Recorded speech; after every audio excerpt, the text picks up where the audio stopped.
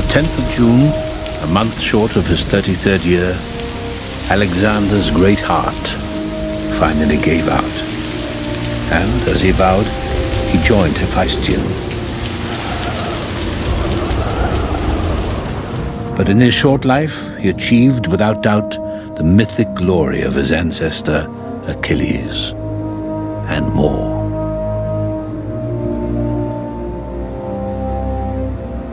Olympias's transgression in the murder of his father is, to my mind, a probability.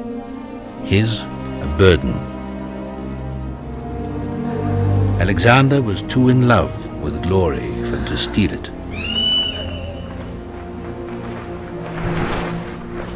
But by blood, and blood alone, he was guilty.